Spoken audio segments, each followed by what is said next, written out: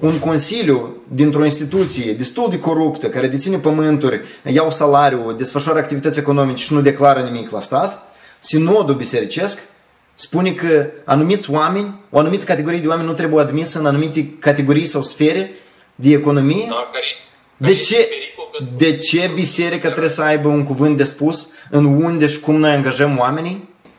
În Moldova 95% din uh, cetățenii Republicii Moldova sunt creștini ortodoxi.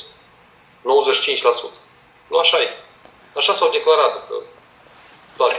Of, da. Nu doar Amilie, este vorba de poziția la peste 90%. Apoi asta înseamnă, apoi asta înseamnă, oportuni, apoi asta înseamnă oportunism. Dumneavoastră ați văzut că electoratul are niște chestii populare, gen îi place Britney Spears, crede în Dumnezeu și are încredere în biserică, hai și-o da asta de punct forte ale platformei. Dumneavoastră de asta ați decis asta.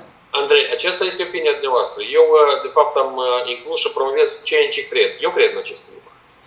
Ok. să puteți să faceți valorile care doriți. Eu cred, într-adevăr, și pledez pentru credința ortodoxă.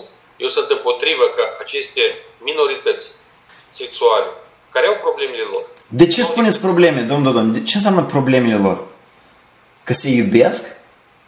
Eu consider, să încep. Vreți să mă scot să spun că